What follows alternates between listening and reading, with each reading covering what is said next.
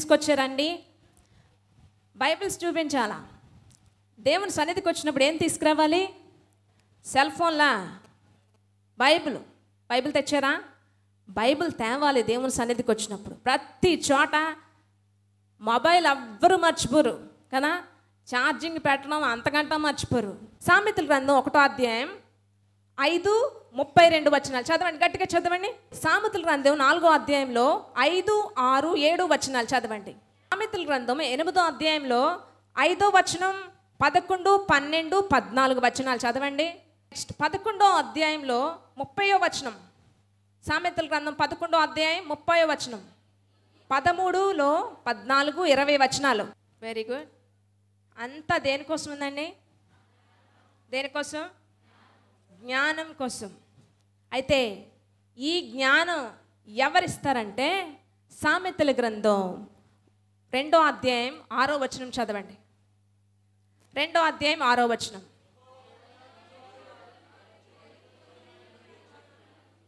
ఎవరిస్తారు?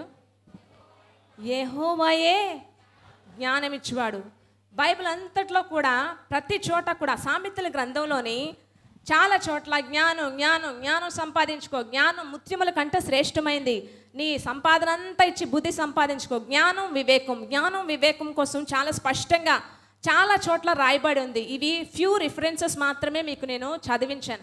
సామెతల గ్రంథంలో ఎక్కడ చూసినా జ్ఞానం సంపాదించు జ్ఞానం సంపాదించు. జ్ఞానం గలవాడు రక్షింపబడును. జ్ఞానం గల కుమారుడు తండ్రిని సంతోషపెట్టును. జ్ఞానం జ్ఞానం జ్ఞానం అని చెప్పి చాలా చోట్ల జ్ఞానం కోసం దేవుడు చాలా చాలా జాగ్రత్తగా చాలా ప్రాముఖ్యతని జ్ఞానం కోసం దేవుడు బైబిల్లో రాసిపెట్టాడు. ఈ సామెతలు గ్రంథమే కాకుండా బైబిల్లో చాలా చోట్ల జ్ఞానం కోసం రాయబడింది. జ్ఞాన వివేకములు గల ఆత్మట యహోవ ఇచ్చు ఆత్మట. సామెత యెషయా గ్రంథం మూడో అధ్యాయం పదకొండో అధ్యాయం రెండో వచ్చిన ఒకసారి చదువుతారు ఎవరైనా? యెషయా గ్రంథం పదకొండో అధ్యాయం రెండో వచనం. ఎస్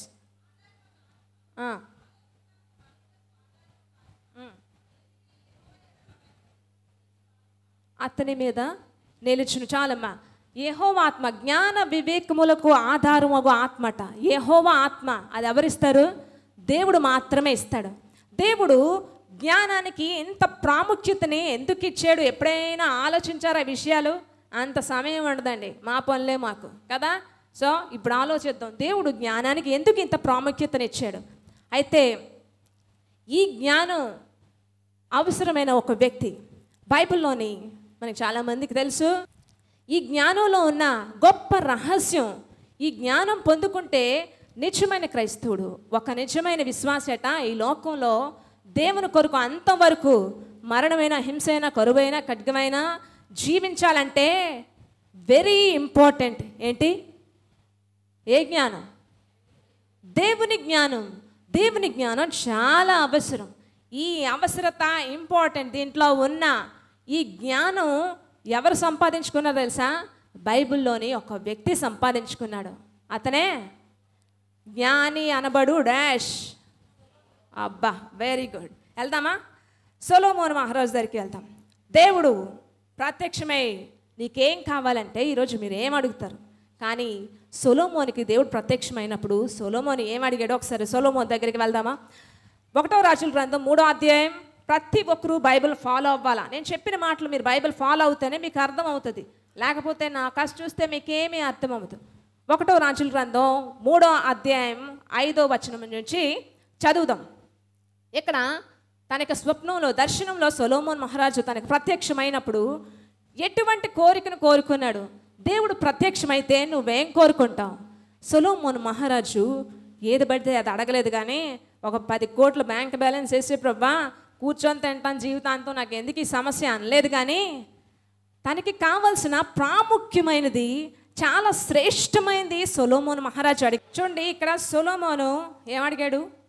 ఇక్కడ నేను ఇంకా బాలుడిని నేను ఇంత రాజ్యాన్ని ఇంత ప్రభుత్వాన్ని నేను ఏలాలంటే ప్రజల యొక్క వారి యొక్క అవగాహన వాళ్ళ యొక్క పరిస్థితులను తెలుసుకోవాలంటే నా జ్ఞానానికి నాకు అసలు సరిపోదు. ఇజ్రాయిల్ ఎలా ఉన్నంటే చాలా ఇసుకలాగా ఉన్నారు.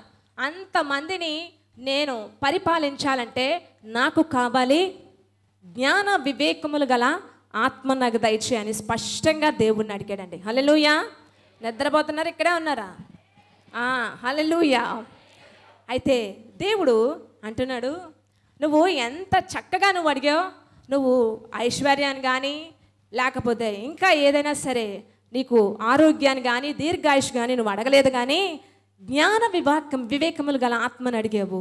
దీన్ని బట్టి నాకు చాలా సంతోషం. ఇది ఇదే కాకుండా నీకు ఐశ్వర్యాన్ని ఇంకా ఇంకా ఇంకా యాడ్ చేశాడు. నీకు ఐశ్వర్యాన్ని ఆస్తుల్ని అంత సమస్తము నేను నీకు ఇస్తాను. ఎందుకంటే నువ్వు అడిగింది నేను ఏదైతే బైబిల్లో రాయించానో దాన్నే నువ్వు అడిగేవు కనుక దీంతో పాటు నీకు ఇంకా నేను కావాల్సినవన్నీ కూడా నేను ఇస్తున్నానని చెప్పి దేవుడు చెప్పాడు. దేవుని జ్ఞానంతో సొలొమోను నింపబడ్డాడు. హలెలుయ దేవుడు ప్రత్యక్షమైతే ఈరోజు రాత్రికి మీరేం అడుగుతారు? ఏం అడుగుతారు? ఒకరోజు అంట ఒకడు బాగా సమస్యలో నేను ఎండిపోయి అడవిలోకి వెళ్ళి తపస్సు చేశాడట. దేవుడా కనబడు దేవుడా కనబడు దేవుడా కనబడు అని చెప్పి. అయితే దేవుడు ప్రత్యక్షమయ్యాడు. దేవుడు ప్రత్యక్షమై ఏం కావాలి? నరుడా కోరుకో. ఏది కోరుకున్నా ఒక్క వారమే కోరుకో అని చెప్పాడట. అమ్మ బాబోయ్ నాకు చాలా కోరికలు ఉన్నాయి చాలా సమస్యలు ఉన్నాయి దేవుడు చూస్తే ఒక్క వారమే కోరుకోమన్నాడు. అని అయితే నేను ఇంటికి వెళ్ళి మా ఇంట్లో అందరిని అడిగేసి నేను వస్తాను రేపు ఇదే టైంకి మరి బాగా ఆలోచించుకొని వస్తాను అని అంటే సరే వెళ్ళి రేపు రా అని చెప్పి దేవుడు వెళ్ళిపోయాడు. ఇంటికి వచ్చాడట ఇంటికి వచ్చి అలా ఆవిడని కన్సల్ట్ చేసాడు ఏమమ్మా దేవుడు నాకు ప్రత్యక్షమయ్యాడు. ఏదో ఒకే వరం కోరుకోమన్నాడు. అని అంటే ఏమండి ఏమండి మనకు పిల్లలు లేరు కదా ఒక పిల్లని కోరుకోండి అన్నదట. అమ్మా అనుకొని వాళ్ళ అమ్మ దగ్గరికి వెళ్ళాడట. అమ్మా నాకు అడవిలో దేవుడు ప్రత్యక్షమయ్యాడు. ఒక్క వారమే కోరుకోమన్నాడు. ఏం చేయాలంట? అరే నాకు కళ్ళు లేవు కదా కళ్ళు కోరుకోరా అన్నదట. అబ్బా మనోడికి ఫైనాన్షియల్ ప్రాబ్లం డబ్బుల సమస్య. అయితే రాత్రంతా కూడా కూర్చొని ఆలోచించాడు. ఒక్క వరంలో ఇన్ని అలాగే నేను సెట్ చేయాలని చెప్పి ఆలోచించి చించి చేయించి మరుసటి రోజు దేవుడి దగ్గరికి వెళ్ళాడు. వెళ్ళగానే మళ్ళీ దేవుడు ప్రత్యక్షమే అన్నరుడా కోరుకో ఏమి నీ కోరిక? ఒక వరమే కోరుకో అన్నాడు. తెలుసా? ఏం కోరుకున్నాడు? చాలా తెలివిగా మా అమ్మ బంగారపు డుయ్యాల్లో పండంటి బిడ్డను చూసే వరాన్ని ఇవ్వు ప్రభువా అని కోరుకున్నాడట. హల్లెలూయా! హల్లెలూయా! మనిషి యొక్క తెలివి ఎంత తెలివండి? వాళ్ళ అమ్మట బంగారపు ఉయ్యాలో పండంటి బిడ్డను చూసే వరాన్ని ఇమ్మన్నాడు చూసే వరం అంటే వాళ్ళ అమ్మకి కళ్ళు వచ్చేస్తాయి పండంటి బిడ్డ అంటే వాళ్ళ ఆవిడకి పిల్లలు పడతారు. బంగారం ఉయ్యాలంటే బంగారం ఉయ్యాలంటే మామూలు విషయం కాదు. ఒక ఐదు కేజీలు ఆరు కేజీలు బంగారం అయినా ఉంటాయి కానీ ఉయ్యాలి అవ్వదు కదా. మనోడు ఫైనాన్షియల్ మ్యాటర్ అంతా క్లియర్ అయిపోద్ది. హలోయా మనిషి యొక్క జ్ఞానం ఇది ఈ లోకానుసరమైన జ్ఞానం. ఇలాగే ఉంటుంది? అయితే దేవుడు ప్రత్యక్షమైనప్పుడు సులోమోను చాలా శ్రేష్టమైనది అడిగాడు. దేవుడు నీకు ప్రత్యక్షమైతే నువ్వేం అడుగుతావు? ఏం అడుగుతారు? సో సొలోమోన్ ఎప్పుడైతే దేవుని జ్ఞానంతో నింపబడ్డాడో మొట్టమొదట మరుసటి రోజు తన యొక్క రాజ్యాన్ని పరిపాలించాల. సింహాసనం ఎక్కుతున్నాడు చుట్టుపక్కల ఉన్న మంత్రులు న్యాయాధిపతులు సైన్యం అంతా కూడా ప్రజలు అందరూ కూడా ఉత్కంఠంతో చూస్తున్నారు. ఈ రోజు నుంచి ఒక కొత్త రా- కొత్త రాజు ఎలెక్ట్ అయ్యాడు. ఈయనొక్క పరిపాలన ఎలా ఉంటుంది అని చెప్పి అక్కడ రాజ్యం అంతా కూడా చాలా ఉత్కంఠంగా చూస్తున్నారు అందరూ కూడా. అయితే సింహాసనం ఎక్కుతున్నాడు ఎక్కుతున్నాడు ఎక్కుతున్నాడు. కూర్చున్నాడు సింహాసనం మీద. మొట్టమొదట ఒక కేసు వచ్చిందండి సోలమోహన్ రాజు దగ్గరికి. ఆ కేసు ఏంటో ఒకటి చూ- చూద్దామా? మూడో అధ్యాయం ఒకటో రాజుల మూడో అధ్యాయం పదహారో వచనం నుంచి ప్రతి ఒక్కరు కూడా బైబిల్ ఫాలో అవ్వాలని చదువుతాను ఇక్కడ. అటు తరువాత వేష్యులైన ఇద్దరు స్త్రీలు రాజుల వచ్చి అతని ముందర నిలిచి వారిలో ఒకతే ఇట్లు మనవి చేశాను. నా ఏలినవాడ ఇది మొట్టమొదట సోలోమోన్ రాజు దగ్గరికి వచ్చిన సమస్య. దీన్ని పరిష్కరించాలి. వారిలో ఒకటి ఇట్లని మనవి చేశాను. నా ఏలినవాడ చిత్తగించము. నేనును ఈ స్త్రీయు ఒక ఇంట్లోనే నివసించుచున్నాము. దానితో కూడా ఇంట్లో ఉండి నేను ఒక పిల్లన కంటిని. నేను కనిన మూడవ దినమున ఇది కూడా పిల్లను కన్నాం మేమిద్దరమును కూడు కూడనున్నాము. మేమిద్దరము తప్ప ఇంట్లో మరి ఎవరూనూ లేరు. అయితే రాత్రి అందు ఇది పడకలో తన పిల్ల మీద పడగా అది చచ్చెను. కాబట్టి మధ్యరాత్రి లేచి నీ దాసినైన నేను నిద్రించుచుండగా వచ్చి నా పక్కలోనున్న నా బిడ్డని తీసుకొని తన గౌగిట్లో పెట్టుకొని చచ్చిన తన బిళ్ళను నా కౌగిట్లో ఉంచాను. ఇది సమస్య. అర్థమైందా? ఇద్దరు స్త్రీలేమో సొలోమోన్ రాజు దగ్గరికి వెళ్ళారు. స్టార్ట్ చేయండి అంటే ఏమీ లేదు మహారాజా అని మొదటి స్త్రీ చెప్తుంది. మేమిద్దరం కూడా ఒకటే ఇంట్లో ఉన్నాం. నేను ఒక పిల్లని ప్రసవించిన తర్వాత ఒక రెండు రోజులకి ఈమె కూడా ఒక పిల్లని కన్నది. మేమిద్దరం ఒక్క ఇంట్లో ఉన్నాం. ఆ ఇంట్లో మేమిద్దరం తప్ప ఎవరు లేము అయితే ఏం జరిగిందంటే మధ్యరాత్రిలోని ఈ రెండో ఆవిడ ఆమె పిల్ల మీద నిద్రలో పడిపోవడం ఆ పిల్ల చనిపోయింది ఆ బ- ఆ నిద్ర టైంలో మధ్యరాత్రిలోనే ఆ చచ్చిపోయిన పిల్లని తెచ్చి నా దగ్గర వేసేసి నా బ్రతుకున్న పిల్లని తీసుకెళ్ళి ఆమె పక్కన వేసేసుకుంది. తెల్లవారు లెగిసి చూసేటప్పటికి నేను పిల్లకి పాలు ఇద్దామని చెప్పి లెగిసి చూసేటప్పటికి నా పక్కలో ఉన్న పిల్ల పక్కలో ఉన్న పిల్ల బ్రతికి ఉంది. బ్రతికుందండి? చచ్చిపోయింది. ఫాలో అవుతున్నారా నన్ను? చచ్చిపోయింది. అని చెప్పి అంటే లేదు రాజా రెండో ఆవిడ అంటుంది బ్రతికున్నది నా పిల్ల చచ్చిపోయింది దాని పిల్ల అంటుంది. లేదు బ్రతికున్నది నా పిల్ల చచ్చిపోయింది దాని పిల్ల ఇద్దరు కూడా తన్నుకుంటున్నారు అక్కడ. లేదు బ్రతికున్నది నా పిల్ల చచ్చిపోయింది దాని పిల్ల అంటే చచ్చిపోయింది దాని పిల్ల బ్రతికుంది నా పిల్ల ఏం చేయాలా? మొట్టమొదట సమస్య కూర్చున్నాడు ఎదురుకుంటా కదా. అప్పుడు మళ్ళీ దేవుని యొక్క జ్ఞానంతో ప్రాధేయపడుతున్నాడు మనసులోనే ప్రభా నీ యొక్క ఉన్నతమైన జ్ఞానం నాకు కావాలి.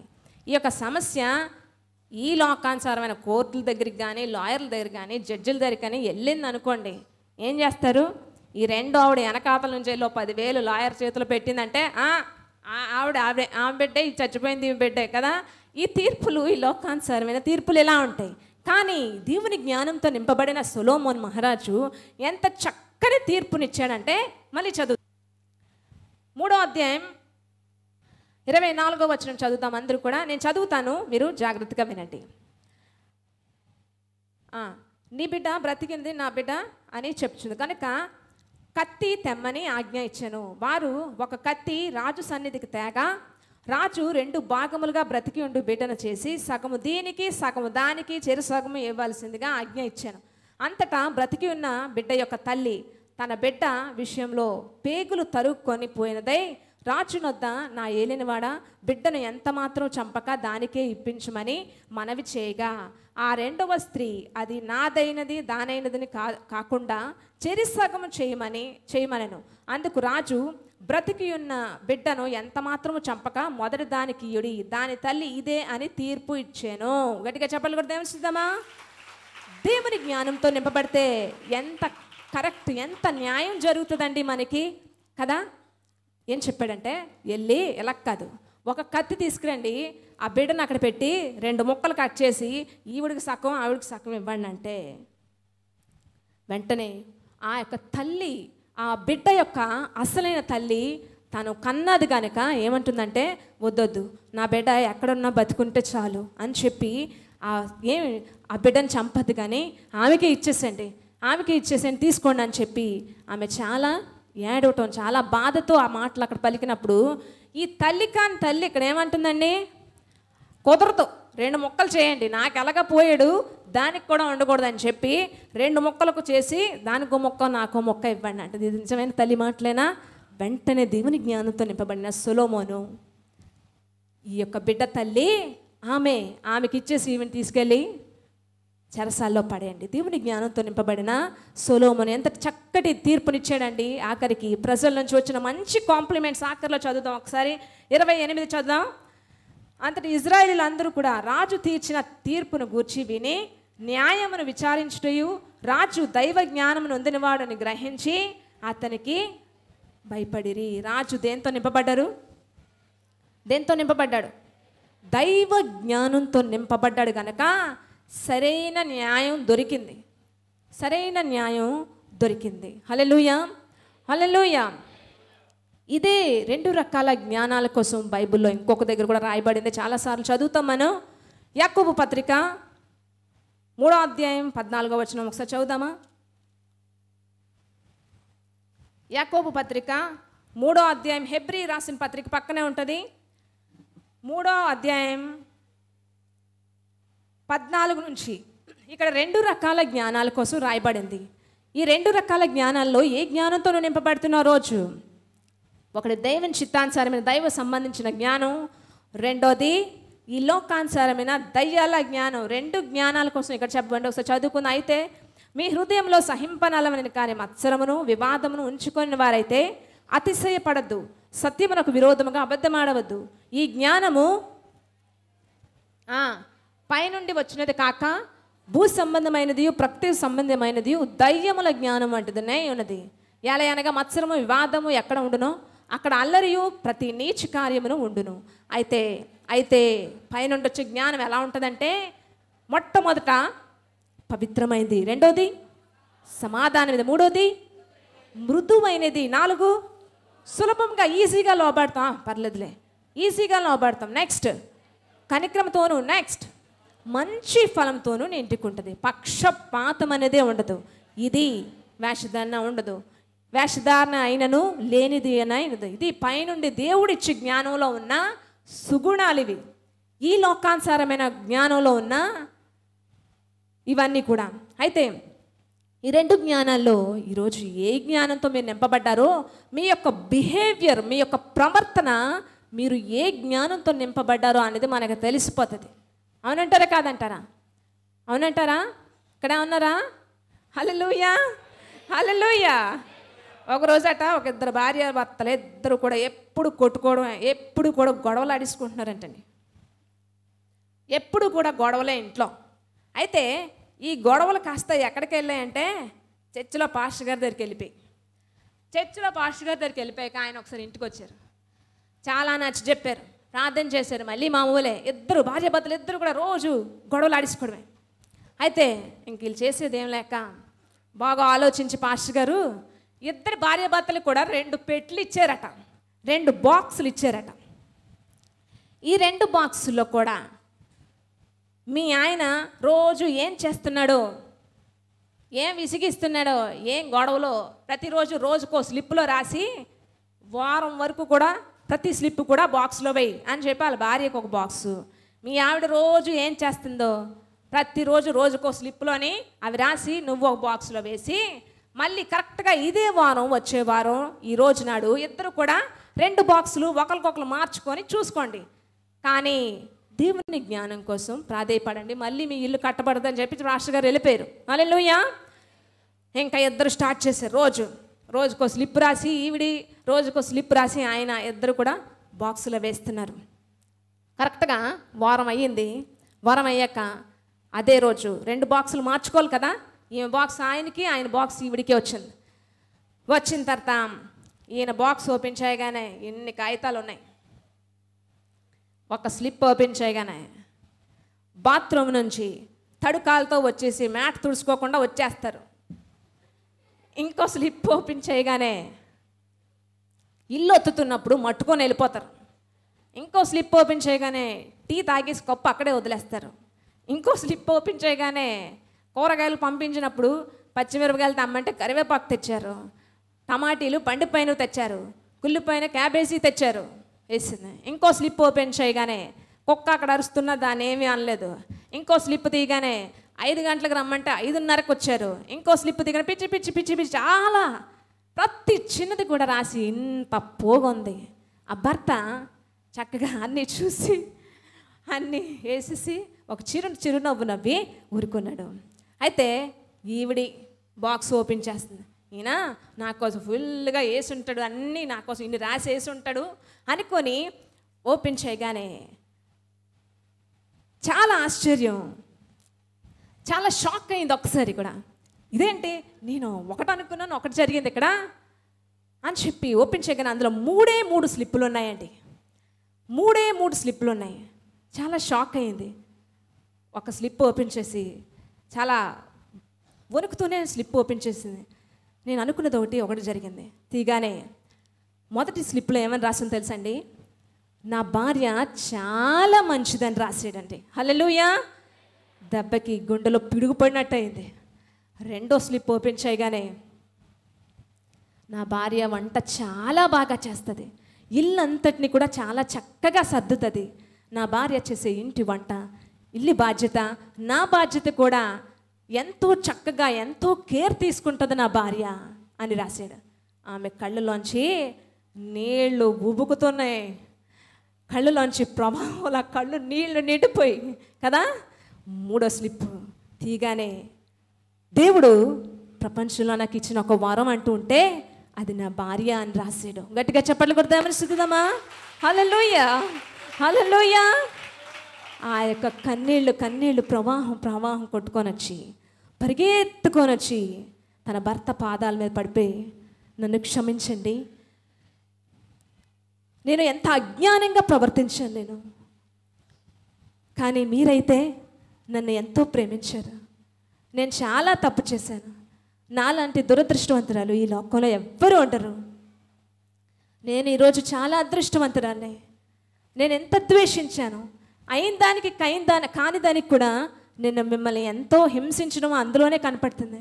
కానీ మీరైతే దేవుని ప్రేమను నన్ను చూపించారు అని చెప్పిందట. హలలుయా హలలుయా చూడండి ఇక్కడ ఇద్దరిలో కూడా రెండు రకాల జ్ఞానాలు పనిచేసాయి. ఒక్కల్లోని ఏం జ్ఞానం పనిచేసింది? దయ్యాల జ్ఞానం పనిచేసింది కనుక దయ్యాల జ్ఞానం ఎలా ఉంటుంది? సమాధానం పడరు. ఈర్ష్య మత్సరంతో నింపబడతారు. ఇందులో చదివాం కదా? ప్రతి నీచి కార్యం అల్లరి తగులు అన్నీ కూడా దయ్యాల జ్ఞానంలో ఉన్నాయి. కనుక ఈమె ఒప్పుకోలేకపోయింది. ఈమె తన భర్తని యాక్సెప్ట్ చేయలేకపోతుంది. ఒక్కదానికి చిన్నదానికి కయందని అన్నీ కూడా ఇది అది అది ఇది అన్నీ రాసి పెట్టింది ఇంకొక వ్యక్తి అయితే దేంతో నింపబడ్డాడు? చెప్పాలి. దేవుని జ్ఞానంతో నింపబడ్డాడు. దేవుని జ్ఞానం పైనుండొచ్చు జ్ఞానం. మళ్ళీ ఒకసారి చెప్తారా? మొట్టమొదట పవిత్రమైంది సమాధానకరమైంది మృదువైంది సులభముగా లోబడుతుంది లోబడుతుంది. ఇవన్నీ ఇందులో ఉన్నాయా లేదా? ఏం చేశాడు? లోబడ్డా లేదా? ఈమె చేసిన దానికంటే ఎక్కువే చేయొచ్చు. కానీ ఆమె యొక్క ప్రా ఆయన ఆయన యొక్క ప్రేమ ఆయన యొక్క పైన వచ్చే జ్ఞానం దయ్యాల జ్ఞానాన్ని ఓడించింది దేవుని ప్రేమతో నింపబడింది. మళ్ళీ కుటుంబం అంతా కలుసుకున్నారు. గట్టిగా చెప్పట్లు కూడా దేవుని చూద్దాం హలలోయ హలలోయ పైన వచ్చే జ్ఞానం ఈరోజు కుటుంబాలతో ఉన్న మీరు కూడా దేవుని జ్ఞానంతో నింపబడితే నువ్వు ఏ జ్ఞానంతో నింపబడ్డావో నువ్వు ఏ జ్ఞానంతో నింపబడ్డావో మీ బిహేవియరే చెప్పేస్తుంది. అవునంటారా కాదంటారా? చిటికి మాటికి కొంతమంది తినరు ఇంట్లో వాళ్ళు తిన్నవరు. కొంతమంది పడుకోరు ఇంట్లో వాళ్ళు పడుకోనివ్వరు. చిన్నది వచ్చిందంటే సంవత్సరాల తరబడి మాట్లాడరు. నెలల తరబడి రోజుల తరబడి మనుషులతో మాట్లాడరండి. వాళ్ళు పడుకోరు పడుకోనెవరు తిన్నెవరు తిన్నెవరు వండరు వండెవరు కదా? ఇలాంటి వాళ్ళు చాలామంది దేంతో జ్ఞానంతో నింపబడ్డారు? దయ్యాల జ్ఞానంతో నింపబడ్డారు. నువ్వు దేవుని జ్ఞానంతో నింపబడితే మొట్టమొదట నువ్వు లోబడతావు. హలోయా సులభంగా లోబడతావు. ఆ, ఐదు నిమిషాల్లో పోవాలి అది. అయిపోయింది అది అయిపోయింది. పోలే. అయిపోయింది అది అయిపోయింది. సారీ చెప్తున్నాను కదా. దేవుని జ్ఞానంతో నింపబడేవారు పరిస్థితి ఇలా ఉంటుంది. నెక్స్ట్ దేవుని జ్ఞానంతో నింపబడేవారు సమాధానం కలిగి ఉంటారు. ఒక్క ఒక్క నిమిషం కూడా అసమాధానం అనేది ఇష్టపడరు. ఈరోజు మీ కుటుంబాల్లో సమాధానం కలిగి ఉండాలంటే కుటుంబంలో ఐదుగురిలో ఒక్కడు దేవుని జ్ఞానంతో నింపబడినా ఆ కుటుంబం దేవుల్లో కట్టబడుతుంది. అవునంటారా? కాదంటారా? హలెలుయా హలెలుయా ఈ రోజు నుంచి అయినా సొలోమోను ఆయన మహారాజు ఆయనకి డబ్బు సిరి సంపదలు ఆస్తులు అన్నీ ఉన్నాయి. కానీ దేవుని జ్ఞానం ఎందుకు అవసరం వచ్చింది? ఎప్పుడైనా ఆలోచించారా? దేవుని జ్ఞానం ఒక రాజ్యాన్ని ఏలటానికి దేవుని జ్ఞానం అవసరం వస్తే కుటుంబాలను ఏలటానికి దేవుని జ్ఞానం వద్దా? ఆఫీసుల్లో ఉద్యోగాల్లో ఎవరితో ఎలా మాట్లాడాలి? కుటుంబంలో పిల్లలతో ఎలా మాట్లాడాలి? భర్తతో భార్యతో ఎలా మాట్లాడాలంటే దేవుని జ్ఞానం వెరీ ఇంపార్టెంట్ హలోయా ఈరోజు నుంచి దేవుని జ్ఞానం మీద ఆధారపడ్డం నేర్చుకోవాలా? ఆధారపడతారా? మోకాళ్ళు వేస్తే ప్రార్థన చేసుకుందాం అందరూ కూడా. ప్రతి ఒక్కరు కూడా మోకాళ్ళు వేసి ఈ చెప్పుతున్న మాటలన్నీ కూడా చెవి పెడచెవిని పెట్టకండి. దేవుని వాక్యం ఎంత స్పష్టంగా సెలవిస్తుంది. సామెతల గ్రంథంలో ఎన్ని వచనాలు మనం చదివాం? నా కుమారుడా జ్ఞానం సంపాదించుకో జ్ఞానం సంపాదించుకో. ముత్యముల కంట విలువైనది జ్ఞానం. నా కుమారుడా నీకున్నదంతా ఇచ్చి బుద్ధి సంపాదించుకో జ్ఞానం సంపాదించుకో. సులోమోని మహారాజు ఇదే చేశాడు. జ్ఞానాన్ని సంపాదించుకున్నాడు గనక. సొలోమోను వంటి మహారాజు ఇంకొకడు లేడు అనే కాంప్లిమెంట్ అండి రాజ్యమే ఇచ్చింది. హల్లెలూయా. ఈరోజు పెళ్ళిళ్ళు చేసుకొని అయిపోయింది మా పని అనుకోకండి. ఈరోజు పెళ్ళిళ్ళు చేసుకొని రెండు రోజులకి మూడు రోజులకి నెల రోజులకి కుటుంబాలు విచ్ఛిన్నమైపోయి విడిపోతున్నాయంటే వాళ్ళు దయ్యాల జ్ఞానంతో నింపబడుతున్నారు. మొట్టమొదట నువ్వు దేవుని జ్ఞానంతో నింపబడాలి. ప్రభా నీ జ్ఞానాన్ని నాకు నా ఉద్యోగంలో ఉద్యోగస్తులతో ఎలా మాట్లాడాలి? అంటే నిన్ను దేవుడు సరిగ్గా గైడ్ చేస్తుంటాడు. నా కుటుంబంలో పిల్లలతో ఎలా మాట్లాడాలి? కొంతమంది విసురుగా మాట్లాడతారు. భార్యతో ఎలా మాట్లాడాలి? తల్లిదండ్రులతో నేను ఎలా మాట్లాడాలా? తల్లిదండ్రులను ఎలా ఆదరించాలంటే నువ్వు దేవుని జ్ఞానంతో నింపబడాలా? అప్పుడు దేవుడు నిన్ను కరెక్ట్గా గైడ్ చేస్తుంటాడు. నువ్వు ఒకవేళ నోరు జారాలన్నా జారనివ్వడు. దేవుని జ్ఞానానికి చాలా ప్రాముఖ్యతనిచ్చాడండి కుటుంబంలో పరిస్థితులు సర్దుమణగాలంటే దేవుని జ్ఞానంతో నింపబడాలి. దేవుని జ్ఞానంలో ఎన్ని సుగుణాలు ఉన్నాయో తెలుసా? పవిత్రమైంది పరిశుద్ధమైంది సమాధానకరమైంది మృదువైంది సులభంగా ఈజీగా కాంప్రమైజ్ అయిపోతుంది లోపడుతుంది ఇన్ని సుగుణాలు దేవుని జ్ఞానంలో దాచబడి ఉన్నాయి. దయ్యాల జ్ఞానం అయితే ఇరవై నాలుగు గంటలు తన్నుకోవడమే. గొడవలు అసమాధానం. ఒకలంటే ఒకరు సంవత్సరాల తరబడి మాట్లాడుకోరు తెండ్రు చికాకు. ఇవన్నీ కూడా దయ్యాల జ్ఞానంతో నింపబడిన వ్యక్తులు. జీవితాల్లో విచ్ఛిన్నమైపోయేలా ఉంటాయి. ఈ రోజు నుంచి అయినా మీరు కుటుంబం ప్రార్థన చేసుకున్నప్పుడు అందరూ కూడా చేతులు పట్టుకొని లెగ్గానే మొట్టమొదట నువ్వు కళ్ళెప్పగానే ఈరోజు నీ జ్ఞానం సమృద్ధి అయిన నీ జ్ఞానంతో నన్ను నింపు తండ్రి. ఎలాగ ఎక్కడ ఎవరితో ఎలా మాట్లాడాలో ఎలా ప్రవర్తించాలో నీ జ్ఞానాన్ని నాకు దయచేయి అని దేవుని నువ్వు ప్రాధేయపడితే ఆ రోజు సొలోమోనికే కాదు నీకు కూడా ఇవ్వడానికి బైబిల్లో ఎంతగా దేవుడు రాసి పెట్టాడు హల్లెలూయా! హల్లెలూయా!